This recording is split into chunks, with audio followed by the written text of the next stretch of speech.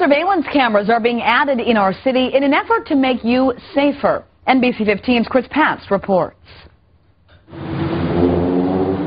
No matter where you are in Madison, there's a chance you're being watched. Surveillance cameras are popping up all over our city, and in a matter of a few weeks, you can add every Metro bus to that list. In 2006, Metro began installing cameras in some of their buses. Over the years, they've added more.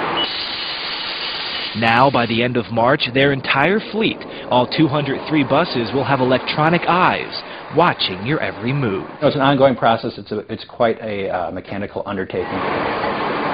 The added security seems to be working. In the last year alone, there were 103 fewer reports of incidents on Metro buses, a 15% decrease.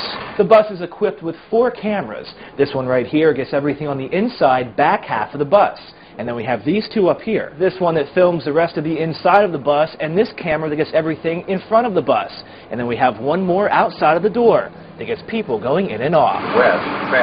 Metro added the cameras for safety reasons, but they also found they have other advantages, like in driver training and customer service. We can also use it for planning purposes where we you know, see where people are getting on. So we use it for so many things. I think it's good because it prevents people from being hurt or it might help them to like catch people who are doing bad things on the bus. We feel really good about the direction we're moving, and uh, we just hope everyone will, you know, come out and give us a try.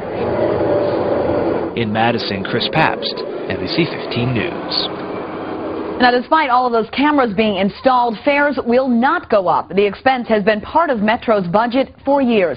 And one other note, the cameras also have microphones. Let's